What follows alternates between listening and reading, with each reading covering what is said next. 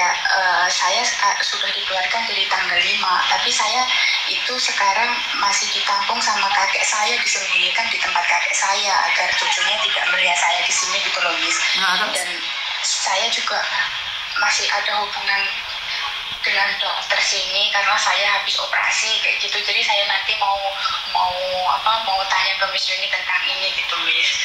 Sebentar sebentar. Kamu sudah dikeluarkan dari majikan tapi kamu ditampung kakekmu. Hati-hati overstay kamu dok saya itu ya katanya saya difineskan gitu terus apa sama sama apa agen saya dicarikan apa itu apa majikan baru sudah dapat gitu nunggu visa tapi sama kakek saya itu jangan di luar gitu tinggal di sini aja gitu terus aku suruh ngomong ke cucunya nggak usah nanti malah masalah lagi dia masih emosi gitu. Mak emosinya gara-gara apa? Kenapa kamu dikeluarkan? Ya karena saya dengan dia ada hubungan Iya, karena saya hanya saya hanya satu orang jaga dia usianya sama dengan saya, Miss. Oke. Okay, dia satu tahun, saya enam tahun bersama dia, dan waktu itu saya istilahnya cemburu lah. Saya melihat dengan mata kepala saya sendiri gitu, Miss. Mm -hmm. Terus dia dengan ya, perempuan lain? iya, tapi perempuan itu piucenya sendiri, Miss. Oke. Okay saya kan disuruh ke rumah kakek saya gitu kan mm -hmm. uh, katanya temannya dia laki-laki dua kan di sini kalau kamu perempuan sendiri ada tiga laki-laki jadi kamu lebih baik ke rumah kakek itu teman aku cowok gitu nah kan karena saya sudah punya ikatan dengan dia kan jadi ikatan batin kan terasa mis mm. itu bohong atau enggak gitu jadi saya diam-diam pulang itu dia nggak tahu saya menyelinap di kamar yang satunya. Nah pas malamnya dia itu mungkin keluar makan atau apa malamnya dia masuk kamar dan saya langsung mempergoki mereka gitu loh guys hmm. jadi pas waktu itu jadi kita berdebat terus akhirnya ya begini. Gitu. Tapi kan kamu cuma ikatan pacaran dengan maji kamu dok. Tapi kan kamu tidak punya hak apa pun. Kenapa kamu harus ya Kenapa kamu harus terpancing emosi sayang? Ya, ya nggak tahu. Mungkin saya nggak terimanya gini nih. Kamu dengan saya terus kamu juga dengan itu. Terus bagaimana perasaanku? Jadi kan kayak aku tuh menuntut aku dengan maksudnya habis dengan saya terus dengan itu. Gitu kan jadi gimana gitu loh miss? Ya mungkin saya juga salah karena saya emosi gitu. Nah sekali lagi nah hubunganmu sama dia kan sekedar majikan dan pembantu loh kan kamu nggak boleh lebih dari itu sayang kamu pernah tidur sama dia? Iya iya iya miss. Jadi kamu sudah melakukan hubungan suami istri? Iya sama dia. Sudah dua tahun ini dengan dia. Terus itu kan IUC-nya itu kan sudah punya anak punya suami juga. Kenapa dia dulu bareng sama dia? Terus itu kan jadinya kan ya saya kan cemburu gitu dan akhirnya kamu dikeluarkan dari rumahnya? Iya, kan aku pas malam itu kan saya tanya ke ke itu ke BUC-nya. Kalau kamu apa ketahuan suami kamu tidur dengan laki-laki yang lain, kamu perasaan kamu gimana sesama wanita? Dan bilang, aku bilang begitu. Terus BUC-nya bilang apa? Ya, dia bilang sebelum kamu mengatakan seperti itu, kamu tahu nggak aku itu siapa gitu. Tapi kan aku aku kan udah mendengarkan dia ngapain aku kan melihat gitu. Jadi kan tapi dia menyalahkan saya karena dia apa pasalnya kan kita bersaudara loh bilang gitu. Kita nggak ngapa-ngapain dia bilang gitu. Kan saya selalu bilang ah, sadar diri sadarai sadar posisi saya. Benar nggak? Ya, iya ini saya iya saya tahu. Mungkin saya juga salah tapi karena itu jangan terlalu. Miss Yuni selalu ngingetin jangan terlalu. Miss Yuni aja dihina-hina orang disakitin orang Miss Yuni masih diam saya tapi gini kan mateni rezekimu dewe kamu habis operasi apa sayang? saya habis operasi batu empedu dan uh, kan masih apa berjalan apa ya sejarahnya itu kan masih setiap apa berapa bulan sekali gitu kan datang ke dokter dan pas terakhir aku datang ke dokter katanya dokter itu apa darah aku itu ada sesuatunya dan itu tuh belum tahu apa makanya aku dijadwalkan untuk radiologi lagi gitu. Dan ini kan keburu keluar di rumah majikan ini dan apa saya sama agen saya itu tidak boleh mengatakan ke majikan yang baru saya gitu terus kan aku juga pengen tahu kalau aku kan juga takut punya penyakit lain lagi atau gimana gitu nih gitu Oh, tapi kan juga takut dong kalau kamu tidak tidak jujur nih. Suatu saat kalau ada masalah di dirimu sendiri kan kamu yang salah. Bener nggak? Iya makanya itu gimana itu solusinya aku kan jadi bingung aku punya jadwal ke dokter juga gitu dan aku juga apa daftar itu yang ada jadwal radiologi juga dia mau melihat itu ada penyakit apa ada sesuatu apa gitu itu Miss Ya ini ini yang Miss Yuni kesalkan jika kamu punya hubungan dengan maji kamu. Ya Miss Yuni selalu mengingatkan kan sadar diri, sadar rai, sadar posisi dong. Kamu gajinya tetap sama, ditidurin sama dia, gajimu tetap sama dong. Ditambahin nggak? ya saya apa dikasih uang belanja sendiri karena kan di situ kan nggak ada orang. Jadi aku yang mengatur semuanya. Maksudnya yang beli semuanya perlengkapan dia perlengkapan di rumah itu semua apa yang habis itu ya saya gitu. Karena saya hanya hidup dengan dia dia orang tuanya pisah cerai dan ibunya meninggal kakaknya ya di Cina semua gitu. Jadi kamu sudah menganggap bahwa bahwa kamu adalah istrinya, benar nggak? iya begitu Miss Tapi kan ternyata dia punya punya nafsu lain. Dan ingat, jika kamu sudah mengawalin seperti itu, percaya nggak suatu saat pembantunya dia dia akan perlakukan hal yang sama dengan kamu. Pernah nggak berpikir seperti itu sayang? Benar nggak? ya, iya sampai sedih ya mungkin. Kamu merasa sakit kan? Sedih kan? Iya sedih karena sedih yang terutama ya saya kehilangan, kehilangan pekerjaan saya begitu. Bagaimana ceritanya kamu bisa jatuh cinta sama dia sementara kamu tahu dia adalah maji kamu? Dok? Ya dia perhatian sama saya dan saya ya menurut saya dia orang baik. Dia sebelum apa selama saya enam tahun di situ ya dia kan awalnya punya pacar. Dia putus karena apa sama orang tua pacarnya itu dilarang ibu kamu kan koma sampai kapan kamu mau nunggu ibu kamu bangun? Gitu. Terus akhirnya putus dan dia sendiri. Nah selama putus sama pacarnya itu ya dekatnya dengan saya gitu. Perhatian di saat saya apa operasi dia yang ngurus gitu Tapi kan dia tetap posisinya sebagai majikan sayang. Kalau dia mencintaimu, dia akan menikahimu sayang. Benar nggak sih?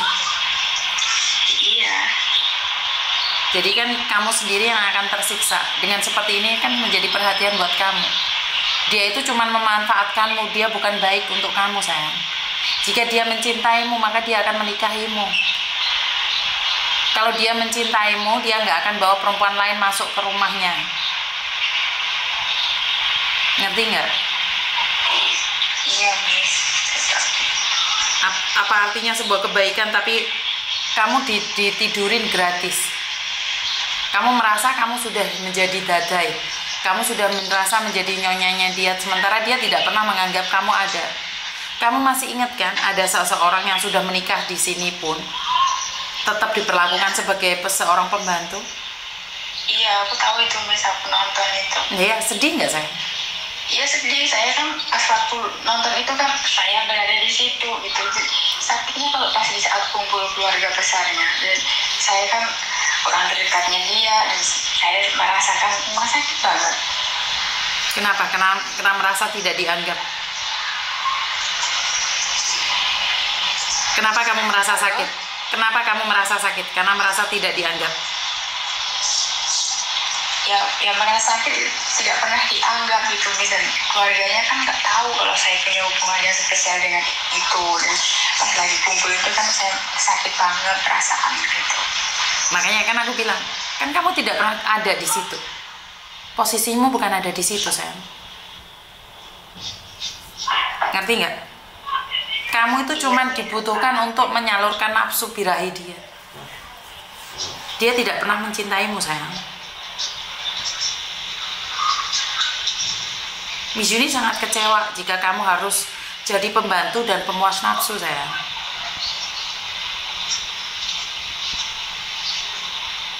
dan majikan baru posisi kamu sakit seperti ini. Ya mungkin karena sakitmu kamu kamu punya hubungan dengan majikanmu sayang benar nggak? Iya mungkin tuh itu teguran dari Tuhan. Benar nggak Iya mungkin. Tapi eh, saya sebelum operasi eh, belum punya hubungan sama dia. Hmm. itu ya kan namanya teguran. Dulu Miss Yuni kan bilang nih kaki saya patah juga kan teguran dari Tuhan juga. Benar nggak? Iya iya tahu. Jadi hentikan perasaanmu itu melangkah lebih baik lagi dan jangan diulangi ya sayangnya Iya, tapi ya mungkin saya untuk sekarang ini masih gimana ya, ya antara niat atau enggak atau terima atau enggak gitu. maksudnya gitu.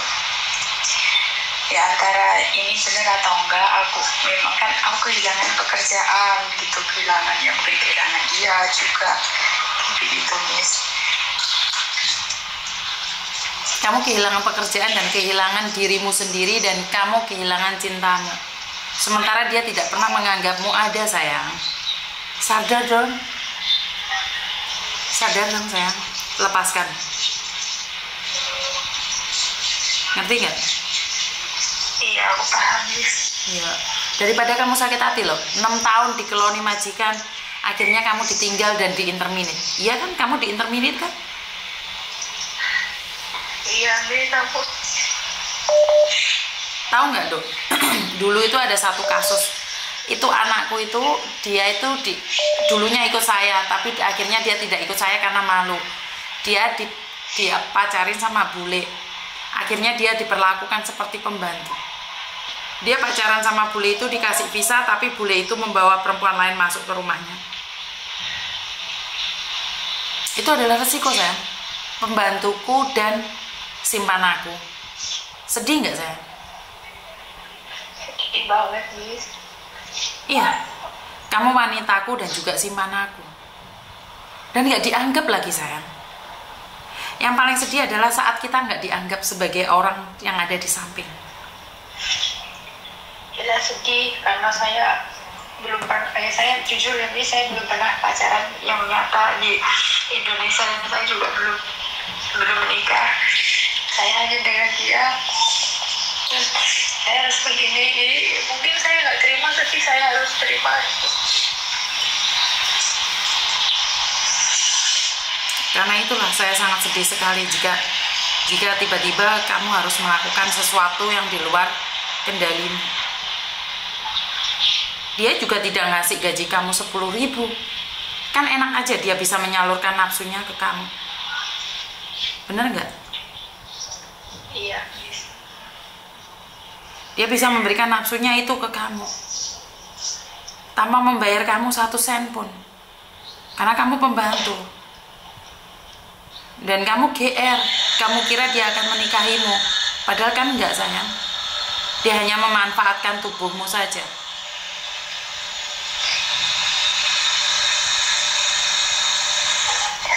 Benar nggak sih? Ya, iya saya ya saya sih sebenarnya udah lama pengen curhat sama seseorang gitu karena teman saya teman dekat saya tidak tahu apa yang terjadi dengan saya dan aku tidak pernah menceritakan hal ini gitu.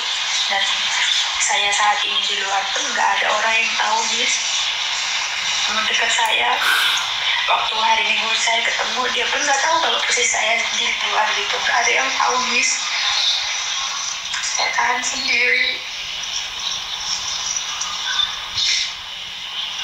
kan sangat menyedihkan sekali sayang. Ini ini adalah pelajaran buat teman-teman yang lain. Padahal Miss Yuni banyak sekali loh video-video itu. Kenapa Miss Yuni selalu mengingatkan kalian Miss Yuni tidak pernah capek. Miss Juni dihujat apa pun sama orang saya tidak ingin ada orang-orang seperti kamu sayang benar nggak bukan cuman kamu aja kok ada beberapa orang yang dipacarin sama majikan Miss Juni selalu mengingatkan dia itu memacari kamu dengan gratis sayang kalau dia mencintaimu dia akan menikahimu dia tidak akan membiarkanmu statusnya sebagai pembantu. Tapi ingat, saat dia menikah denganmu, belum tentu keluarganya mau mengakuimu. Benar nggak? Iya, Miss. Ya udah bangkit lagi ya sayangnya. Berdoa saja yang terbaik buat kamu ya. Iya, makasih banyak, Miss. Uh-uh. Ya udah semangat. Kapan kamu ada waktu cari saya ya, datang langsung ke kantor ya sayangnya. Iya, Miss. Saya rencana hari Selasa ini keluar dari rumah kakek saya. Tapi semakin saya di sini malah semakin diingat dia. Pokoknya semangat. Kamu harus melupakan dia. Iya. Kamu harus melupakan dia. Ngerti? Iya, Miss. Dan ingat, hidup ini bukan cuma satu warna, yaitu dia saja. Masih banyak lain yang lainnya. Ngerti? Iya, Miss. Iya, Miss. Paham, Miss. Semangat ya sayangnya. Iya, iya, Miss. Makasih banyak, Miss. Oke, bye Sedih banget ya saat pembantuku dan simpananku, majikanku, jadikan aku simpanan. Ya, mungkin kalian bisa katakan bangga, atau kalian bisa katakan Anda bahagia. Tapi percayalah, kebahagiaan itu bukan berarti harus menggadaikan diri sendiri. Jangan mau jadi simpanan majikan, Mbak. Jangan mau jadi simpanan majikan. Kalau kamu tidak diakui, maka kamu akan ngenes dan terluka. Halo, Halo, Assalamualaikum. Waalaikumsalam. Kenapa, Mbak?